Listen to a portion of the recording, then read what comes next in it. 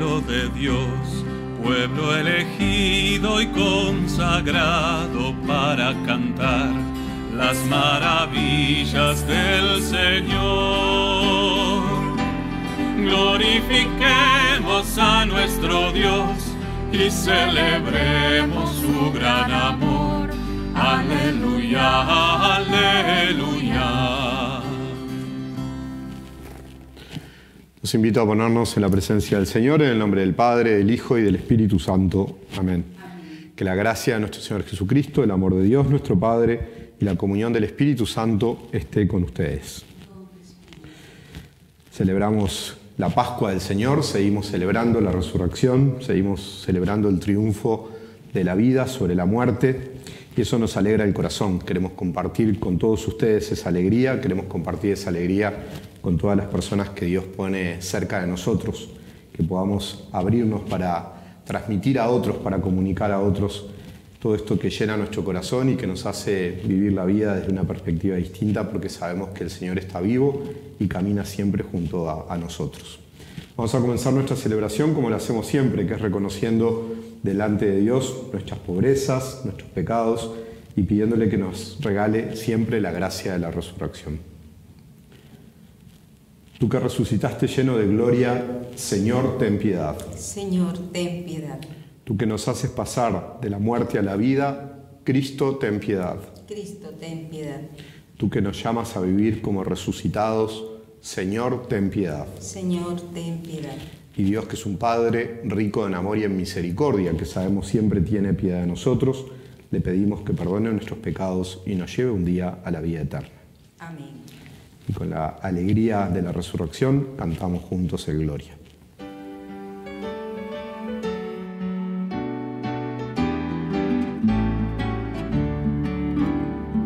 Gloria al Padre en el cielo y en la tierra al hombre paz. Por tu gloria te alabamos, te cantamos a ti, oh Señor.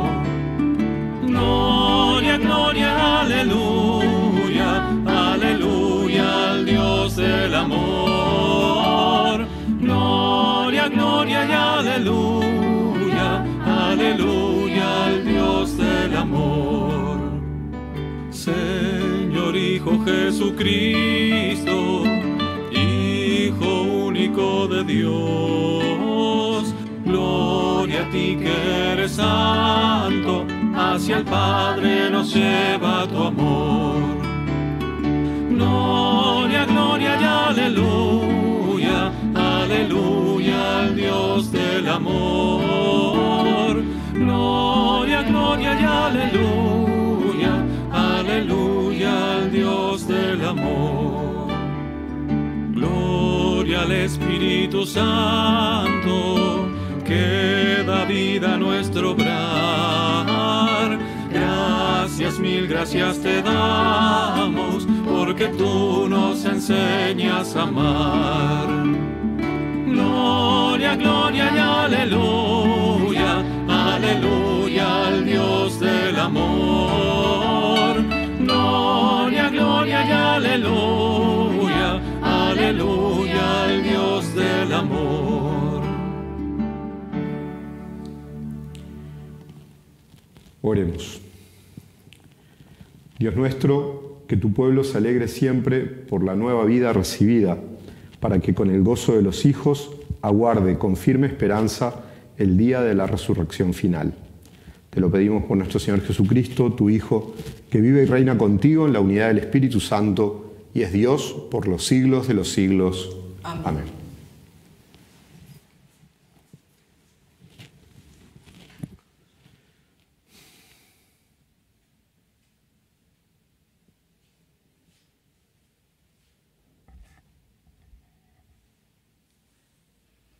Lectura de los Hechos de los Apóstoles.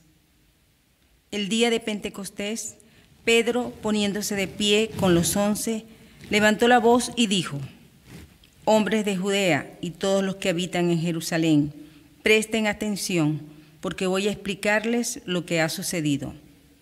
A Jesús de Nazaret, el hombre que Dios acreditó ante ustedes, realizando por su intermedio los milagros, prodigios y signos que Dios que todos conocen, a ese hombre que había sido entregado conforme al plan y, y a la previsión de Dios, ustedes lo hicieron morir, clavándolo en la cruz por medio de los infieles.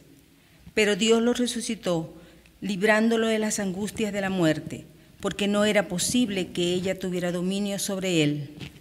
En efecto, refiriéndose a él, dijo David, veía sin cesar al Señor delante de mí, porque Él está a mi derecha para que yo no vacile.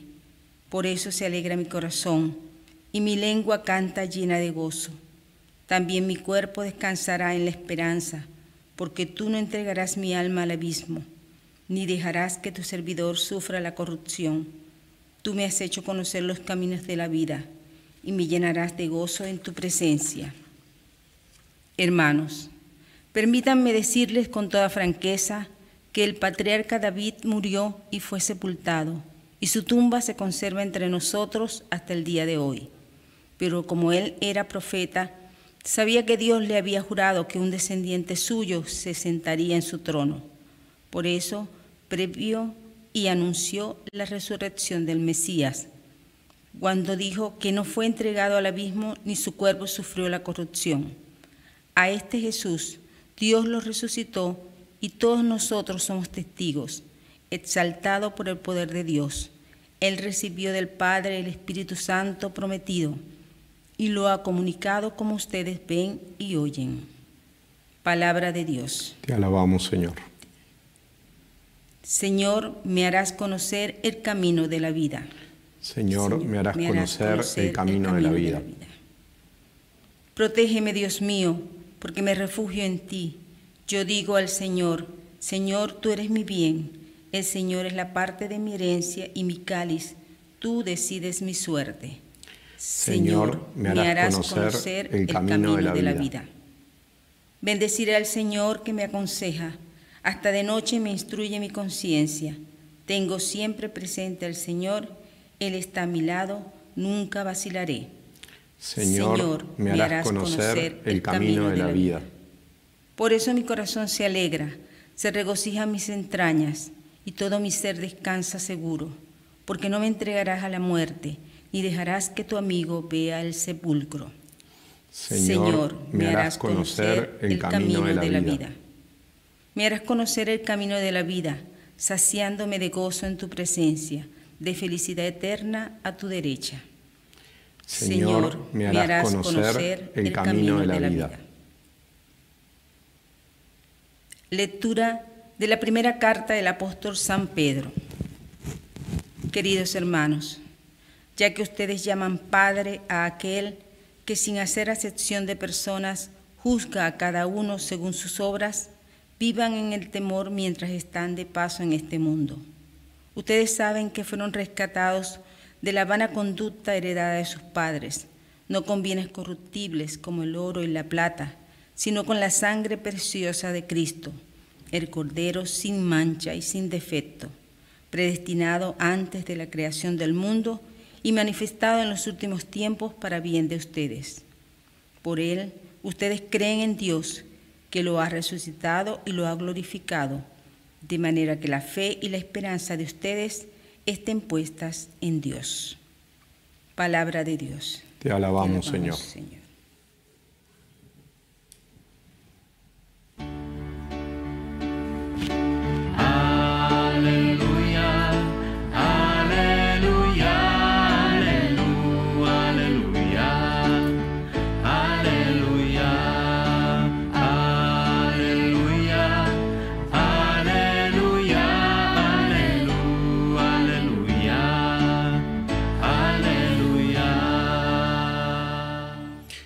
El Señor esté con ustedes.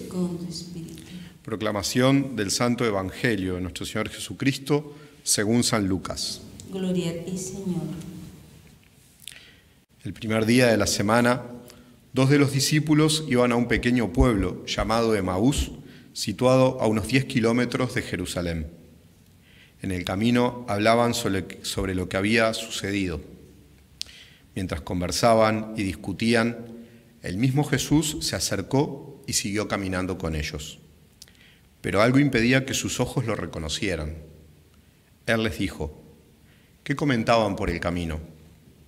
Ellos se detuvieron con el semblante triste y uno de ellos, llamado Cleofás, le respondió, ¿Tú eres el único forastero en Jerusalén que ignora lo que pasó en estos días? ¿Qué cosa? le preguntó. Ellos respondieron, lo referente a Jesús, el Nazareno, que fue un profeta poderoso en obras y en palabras delante de Dios y de todo el pueblo, y cómo nuestros sumos sacerdotes y nuestros jefes lo entregaron para ser condenado a muerte y lo crucificaron. Nosotros esperábamos que fuera Él quien librara a Israel. Pero a todo esto ya van tres días que sucedieron estas cosas. Es verdad que algunas mujeres que están con nosotros nos han desconcertado. Ellas fueron de madrugada al sepulcro y al no hallar el cuerpo de Jesús, volvieron diciendo que se le habían aparecido unos ángeles, asegurándoles que Él está vivo. Algunos de los nuestros fueron al sepulcro y encontraron todo como las mujeres habían dicho, pero a él no lo vieron. Jesús les dijo, hombres duros de entendimiento, ¿cómo les cuesta creer todo lo que anunciaron los profetas? ¿No era necesario que el Mesías soportara esos sufrimientos para entrar en su gloria? Y comenzando por Moisés y continuando con todos los profetas, les interpretó en todas las escrituras lo que se refería a él. Cuando llegaron cerca del pueblo a donde iban, Jesús hizo ademán de seguir adelante, pero ellos le insistieron, quédate con nosotros, porque ya es tarde y el día se acaba. Él entró y se quedó con ellos. Y estando a la mesa, tomó el pan y pronunció la bendición. Luego lo partió y se lo dio. Entonces los ojos de los discípulos se abrieron y lo reconocieron pero él había desaparecido de su vista. Y se decían, ¿no ardía acaso nuestro corazón mientras nos hablaba en el camino y nos explicaba las escrituras? En ese mismo momento se pusieron en camino y regresaron a Jerusalén. Allí encontraron reunidos a los once y a los demás que estaban con ellos.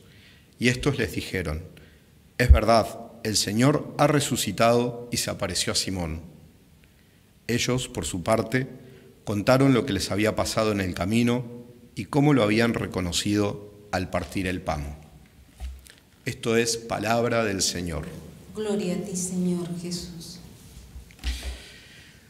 Domingo tras domingo, en este tiempo de Pascua, la liturgia nos propone entonces estos textos que nos cuentan las apariciones de Jesús. Y hoy nos relatan este texto tan lindo, tan bien contado además, en el Evangelio de Lucas, en que Jesús se pone a caminar, sale a, encontrarse en el camino con dos de, sus discípulos que, bueno, que se sentían apesadumbrados, tristes, porque habían puesto su esperanza en Él, porque habían puesto toda su confianza en el Señor, y dicen, pero bueno, ya van tres días de que sucedió todo esto, es decir, la muerte de Jesús, la condena y la muerte de Jesús, y sin embargo aquello que el Señor les había anunciado, ellos creen que no se había cumplido. Ellos sabían, ¿verdad?, que, todo, que había una serie de cosas que tenían que suceder y de alguna manera lo tenían perfectamente aprendido, integrado. De hecho, ellos le relatan a Jesús, ¿verdad?, todo cómo se fue desarrollando y sin embargo no tienen la capacidad, todavía su corazón no, no se ha abierto para poder reconocer la presencia del resucitado. Su corazón no se ha abierto para dar validez al testimonio de estas mujeres que dicen que los han desconcertado porque fueron al sepulcro, no hallaron el cuerpo de Jesús, unos ángeles les aseguraron que él estaba vivo y sin embargo no les pueden creer. Aun cuando algunos de los discípulos, también fueron al sepulcro y encontraron todo como las mujeres se les habían dicho, ellos todavía no pueden creer. Y Jesús les recrimina entonces la dureza de su corazón, la dureza de su entendimiento, para, para entender, para creer todo lo que estaba anunciado por los profetas y todo lo que, bueno, el Mesías tenía que padecer, todo lo que él tenía que sufrir para poder entonces entrar en su gloria. En medio de esa oscuridad en la que ellos todavía están sumidos, porque están embargados por la tristeza, porque están hundidos, ¿verdad? Por, bueno, por todo lo que han visto padecer también a Jesús, por todo lo que ellos mismos han sufrido, porque sin duda la frustración que ellos viven es una frustración profunda. Todo eso no impide que ellos abran el corazón para invitar a este a quien no saben quién es, es un forastero, dicen, a que entre a su casa porque la tarde está cayendo, se hace de noche y lo invitan entonces a sentarse a su mesa. Y es recién ahí cuando Jesús parte el pan, cuando Jesús realiza el gesto de bendecir también el pan, que ellos entonces se dan cuenta. Cuando lo parte y se los da, los ojos de los discípulos se abren y lo reconocen. Pero ya en ese momento el Señor no está. El Señor siempre está un poquito más allá. El Señor siempre está, cuando creemos que lo hemos podido como atrapar, abrazar, Él siempre está un poco más adelante y nos invita a cada uno de nosotros siempre a seguir caminando. Los discípulos se preguntan, ¿acaso no ardía nuestro corazón mientras nos hablaba en el camino y nos explicaba las escrituras? Muchas veces la experiencia de encuentro con el resucitado es una experiencia que, de la que nos hacemos conscientes a posteriori, cuando eso ya pasó, cuando de alguna manera somos capaces de revisar un poquito nuestra vida y darnos cuenta, darnos cuenta de experiencias que hemos vivido que han sido sin duda experiencias de encuentro con Jesús resucitado. Experiencias profundas que hemos vivido, a lo mejor en el marco de algún retiro, de alguna experiencia espiritual más profunda, pero también experiencias que hemos tenido de encuentros con personas que han sido para nosotros también signo de esa presencia del amor de Dios, que han sido para nosotros signos de esa presencia de la luz que viene a traernos el resucitado. A veces cosas sencillas de la vida, como puede ser una buena conversación con un amigo, una buena conversación con nuestros padres, con nuestra madre, con esposo, esposa, amigos, ¿verdad? Personas que, que son significativas para nosotros y que de repente, de alguna manera, son también mediadoras de esa experiencia de encuentro con Jesús, de encuentro con el resucitado. Que tengamos entonces los ojos siempre abiertos, el corazón atento, para darnos cuenta de, bueno, de que el Señor sale de una y otra vez a nuestro encuentro y se pone a caminar con nosotros y también nos explica las escrituras y también realiza gestos como ese partir el pan, ese gesto de, solidaridad, ese gesto de comunión, ese gesto que nos hablan entonces también de esa presencia del, del Señor resucitado, de Cristo vivo y presente en medio de nosotros para que nosotros a su vez vayamos a comunicarlo a otros. Los discípulos de Maús no se quedan encerrados, no se quedan en su casa, salen corriendo a comunicar a otros, a encontrarse con los otros discípulos en Jerusalén para anunciarles lo que ellos han vivido y se encuentran con la sorpresa de que los discípulos, otros discípulos le testimonian haber vivido la misma experiencia de encuentro con Jesús. Bueno, que podamos entonces siempre tener esa ansia, ese deseo de compartir nuestra experiencia de fe con otros, ese ir a comunicar a otros esa experiencia de que Jesús está vivo y que Él camina siempre junto a aquellos que lo buscan. Que así sea.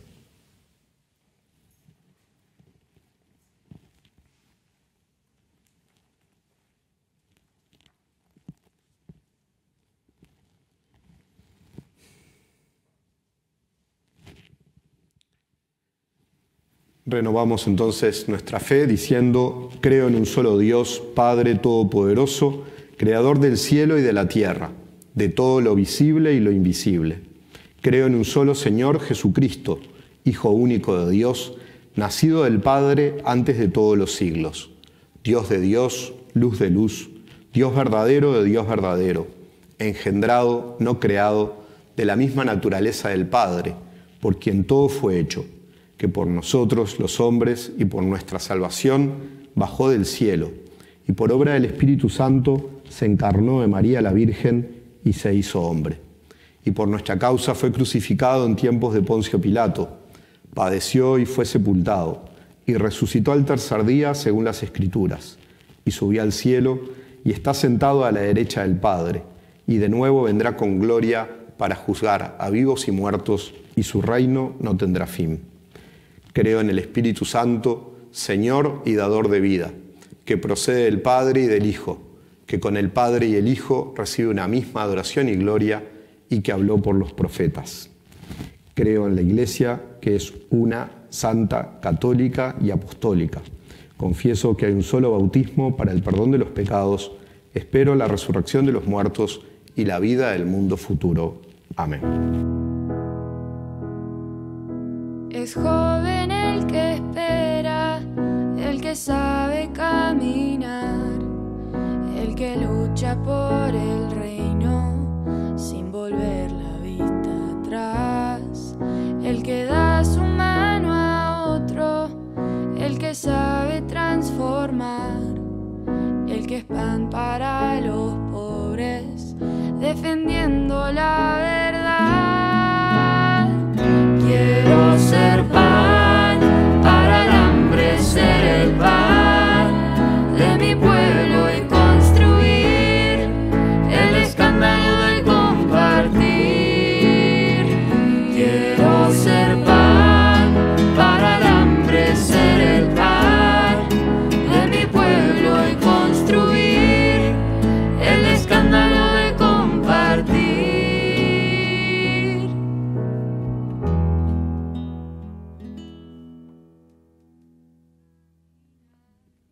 Recemos juntos para que este sacrificio, que es mío y que es de ustedes, sea agradable a Dios Padre Todopoderoso. El Señor reciba en tus manos este sacrificio para alabanza y gloria de su nombre, para nuestro bien y de toda su santa iglesia. Recibe, Señor, las ofrendas de tu pueblo desbordante de alegría, y después de haberle concedido el motivo de un gozo tan grande, concédele participar de la felicidad eterna. Te lo pedimos por Jesucristo nuestro Señor. Amén. Que el Señor esté con ustedes. Y con tu espíritu. Levantemos el corazón. Lo tenemos levantado hacia el Señor. Demos gracias al Señor nuestro Dios. Es justo y necesario. En verdad es justo y necesario, es nuestro deber y salvación glorificarte siempre, Señor, pero, pero más que nunca en este tiempo, en que Cristo, nuestra Pascua, ha sido inmolado. Él sigue ofreciéndose por nosotros e intercede constantemente en nuestro favor. Inmolado ya no muere más, muerto vive para siempre. Por eso con esta efusión del gozo pascual, el mundo entero está llamado a la alegría, junto con los ángeles y los arcángeles que cantan un himno a tu gloria, diciendo sin cesar. Santo es el Señor,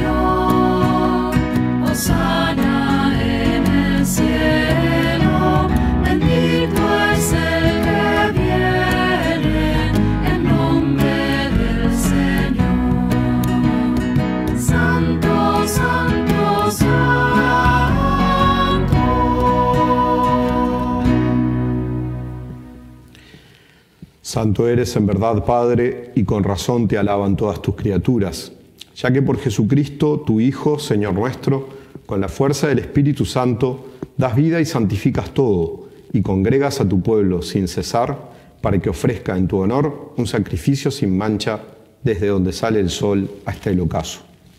Por eso, Padre, te suplicamos que santifiques por el mismo Espíritu estos dones que hemos separado para ti de manera que se conviertan en el cuerpo y la sangre de Jesucristo, Hijo tuyo y Señor nuestro, que nos mandó celebrar estos misterios. Porque él mismo, la noche en que iba a ser entregado, tomó pan y dando gracias te bendijo, lo partió y lo dio a sus discípulos diciendo, tomen y coman todos de él, porque esto es mi cuerpo que será entregado por ustedes.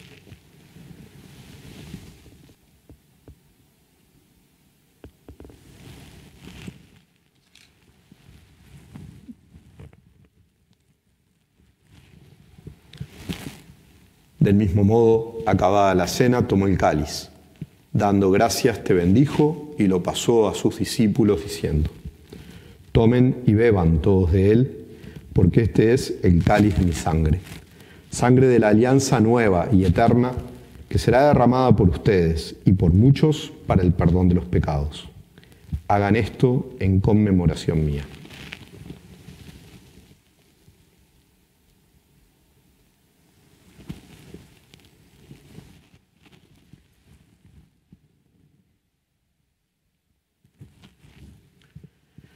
Este es el sacramento de nuestra fe. Anunciamos tu muerte, proclamamos tu resurrección. Ven, Señor Jesús.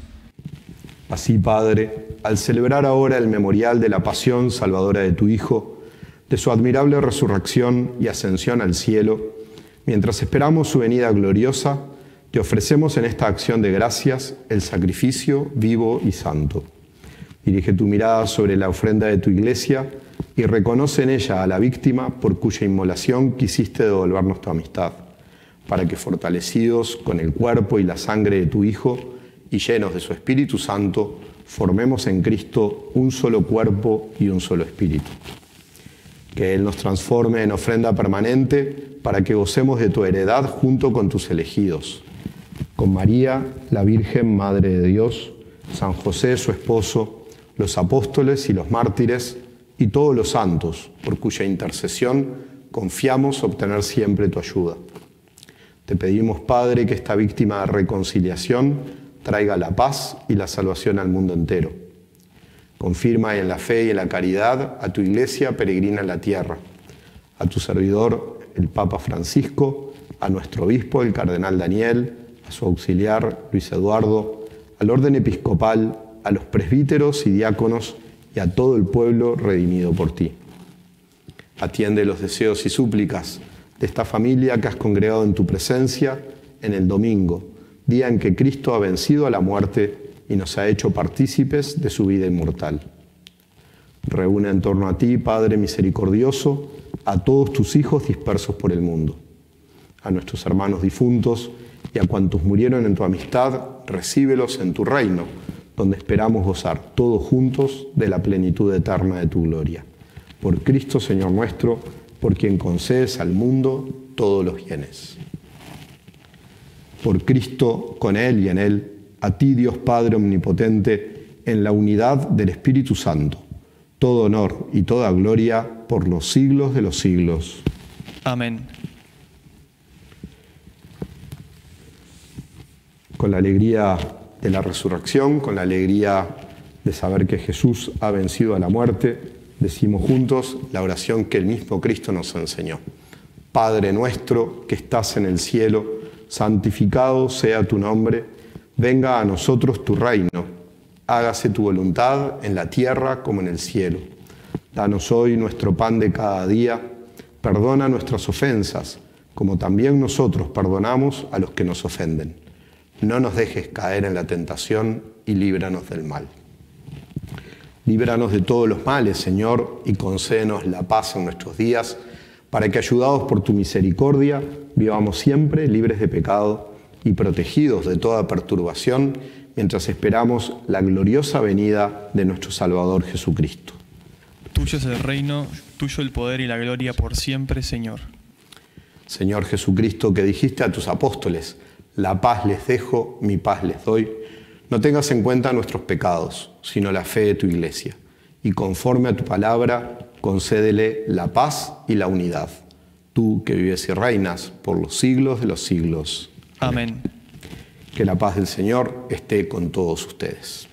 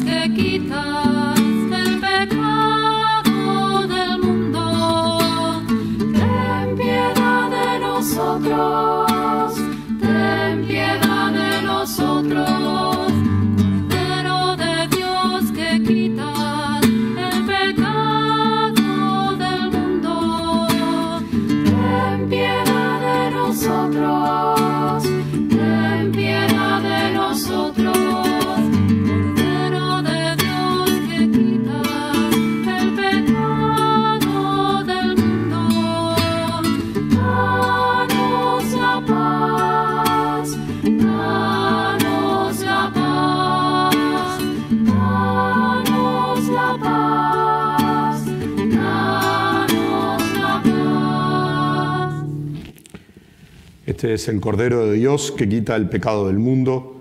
Dichosos nosotros, invitados a la mesa del Señor.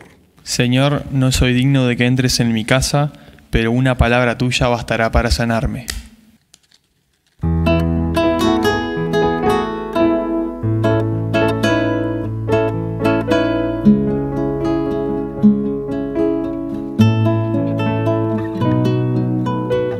Sopla, Señor, te lo pido Quédate esta noche en mi alma, pues solo tu amor y abrigo me dará consuelo y calma. Sopla Señor, sopla fuerte, envolveme con tu brisa y en tu espíritu renovame hazme libre en tu sonrisa. A pesar de mis caídas, hazme fiel a tus promesas. Sopla, Señor, en mi vida y arráncame esta tristeza. Sopla. Sopla.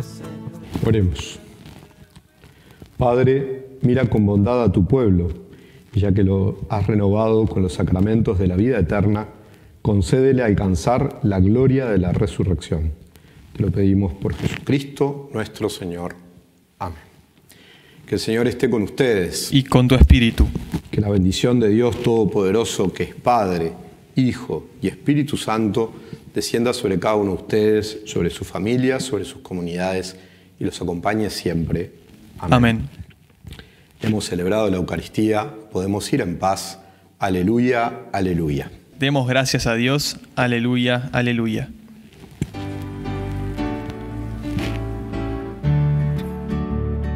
Canto de alegría, canto de alegría, canto de alegría, porque viene nuestro Dios. Se alegra el desierto la tierra seca se abrirá. Al venir el Redentor, todo al fin florecerá.